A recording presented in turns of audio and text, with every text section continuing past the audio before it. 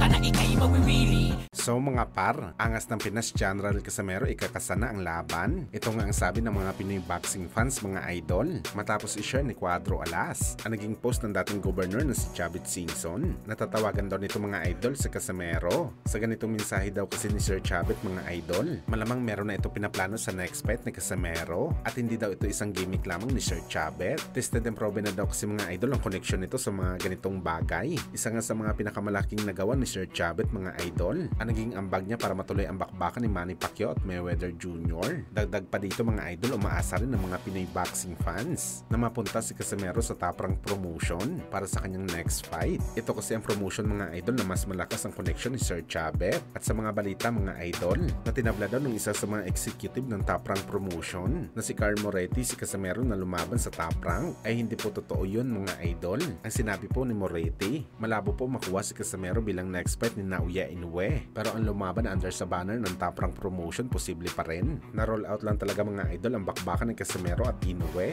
dahil nag-overweight po ang angas ng Pinas sa laban nito kay Saul Sanchez.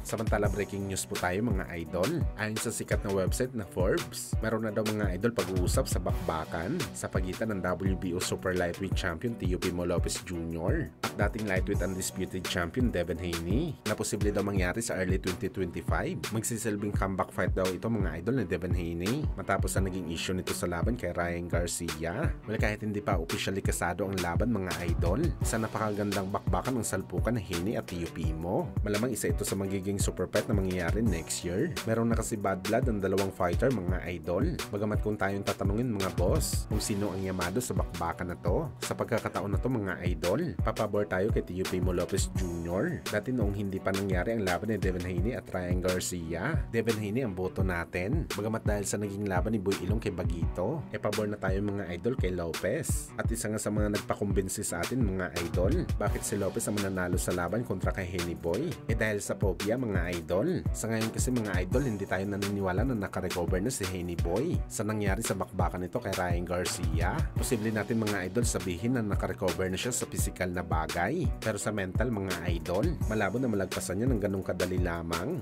Okay sana mga idol, kung lalaban si Henny sa fighter na hindi isang power puncher. Pero ang pinag-uusapan dito mga idol si Teofimo Lopez. Nakapaglakas lamang ang pag-uusapan. Kalebel lang talaga ito ni Ryan Garcia. Sakali makatikim ng sulit na suntok itong si Henny kay Lopez. Panigurado mga idol, maaalala nito kung paano siya dinurog ni Bagito. At alam niyo na mga idol ang kasunod nito, bababa talagang kumpiyansa ni Henny Boy sa bakbakan. Pero gayon pa man mga idol, isa magandang sagupaan pa rin ang laban ni Lopez at Henny. Kaya abangan natin ang update sa laban.